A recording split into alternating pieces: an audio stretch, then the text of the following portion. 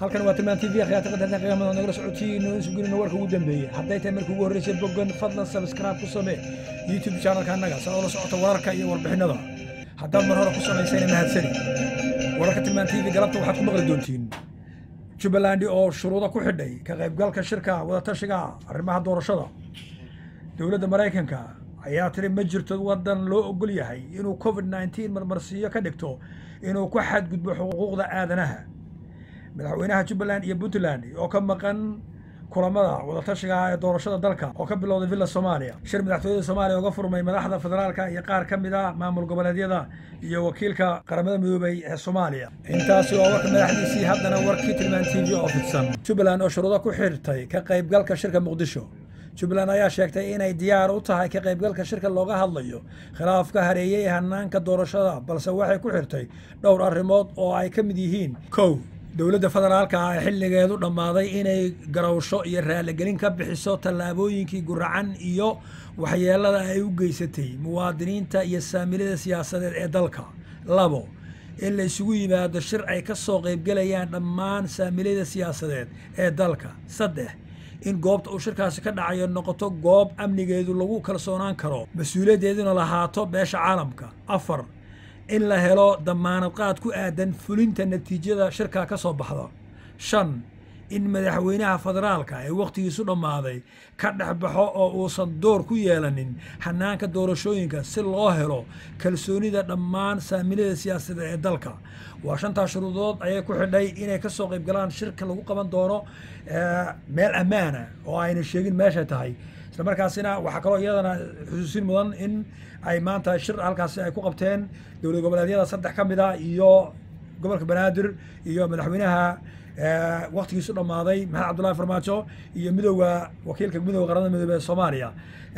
Arrintaasi ayaan loogeyn wax ka soo bixi doono shirkaasi laakiin shirka maanta ka dhacay halkaasi waxaa ka maqnaa labada madaxweyne ee puntland iyo jubbaland oo saluugsan ammaanka magaalada muqdisho oon la isku haleyn karin iyo madaxweynaha waktigiisu dhammaaday maxamed cabdullahi farmaajo oo aynan aamini karin islamarkaasina shir kasta oo la galo go'aamada ka soo baxa uu marka dambe ka laabto sababtaas ayay u leeyihiin waa inay beesha caalamku goobjoog ka ahaadaan ballan qaadaanna shirkaasi in la fulin doono go'aamada ka soo baxa.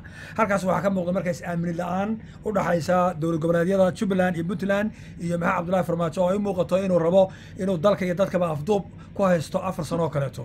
Waxaa wararka kale naga soo gaaray magaalada muqdisho ayaa sheegaya inuu dalbaday toddoba kun oo ciidan ahaa oo lagu tababarayay dalka eritrea in dib ugu soo noqdaan isagoo sheegay inay sugi doonaan doorashooyinka ammaanka. Haddaba doorashada ay sugi doonaan maxay tahay doorashada ma waxay ka dhici doontaa saddexda gobol ee isaga jeebka ugu jira? Waa hirshabeelle koonfur galbeed iyo galmudug iyo gobolka banaadir. Taasi oo ay caalamku sheegeen inaynan aqbalaynin doorasho aan loo dhannayn oo hal dhinaca halkaas marka waxaa ka muuqanaya isfahan la'aan siyaasadeed iyo muran siyaasadeed oo hadda dalka ka bilaaban doono.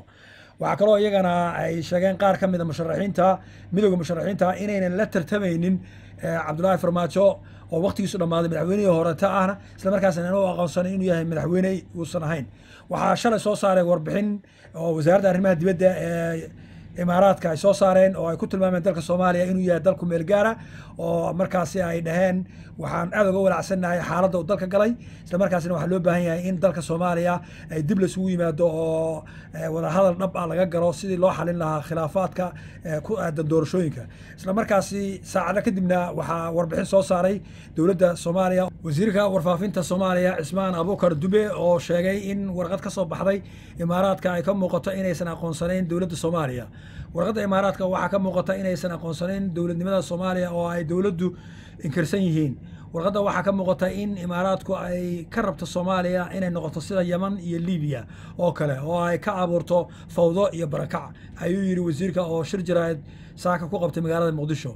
Waxaa iyagana walaac midkaa la mida soo saaray waddanka sacuudi arabiya oo sheegay inay aada uga welsan yihiin xaaladda cakran ee dalka soomaaliya loona baahan yahay in lala yimaado tanaasul si dalka soomaaliya loo badbaadiyo. Waa warbixin ka soo baxday dalka sacuudi arabiya wasaaradda arrimaha dibadda maraykanka ayaa sheegtay in uusan jirin waddan loo ogol yahay inuu adeegsado covid nneteen si uu marmarsiinyo kaga dhigto inuu ku xadgudbo xuquuqda aadanaha iyo xorriyadda asaasiga dowladda maraykanka waxay mar kale ku celisay digniinteedii ay ugu digaysay muwaadiniinta inay ugu safraan soomaaliya wax yar uun kadib markii ay dhowaan qalalaase ka dhacay magaalada muqdisho bayaan ay soo saartay dowladda maraykanka ayaa waxay ku sheegtay intii ay socdeen isku dhacyadii u dhexeeyey ciidamada dowladda iyo mucaaradka khamiistii iyo jabcihii lagu dilay in ka badan labaatan ruux laakiin wasaaradda caafimaadka welibana isbitaalka madiina waxay sheegeen in dhaawacii loo keenay meydkii loo keenay uu ahaa shan askari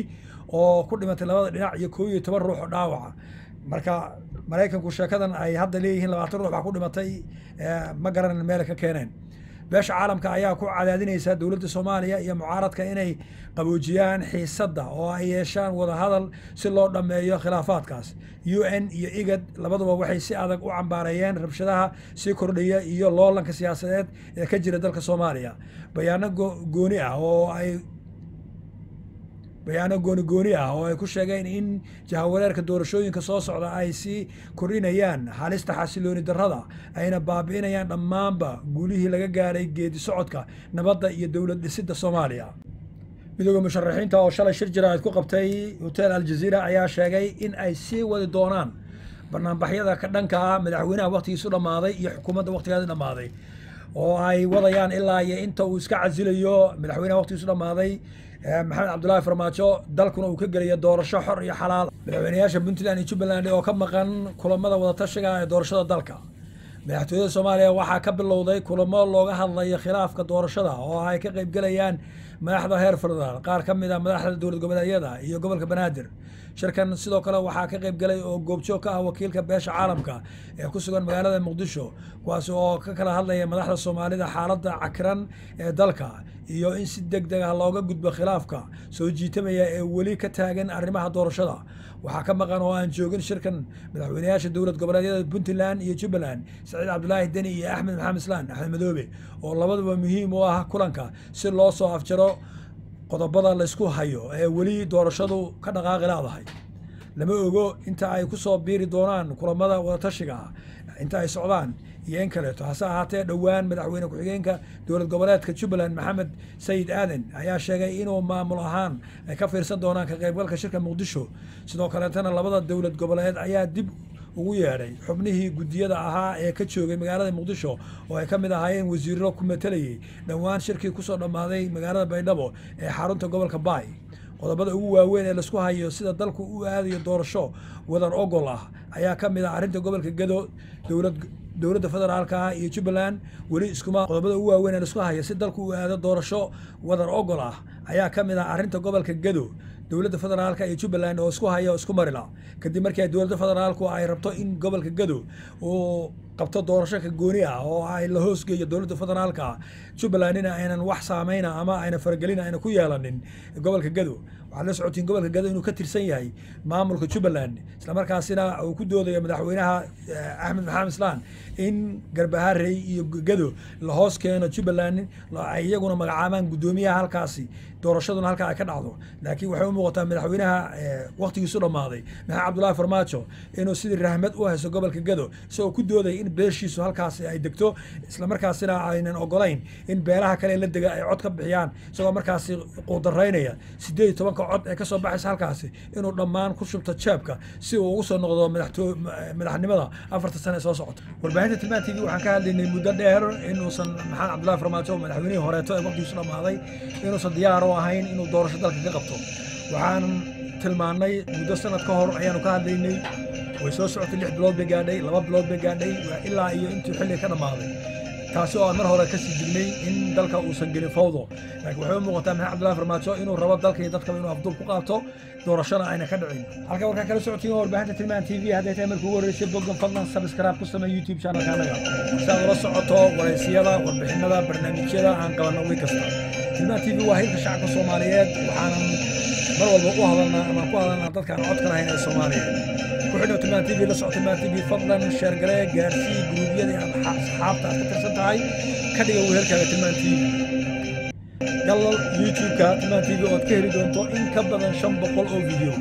Oo aanu ku qabannay barnaamijyo waraysiyo warbixinno aad ka heli doonto culum aad u fara badan oo aad wax badan ka ogaan doonto oo kaa dhahso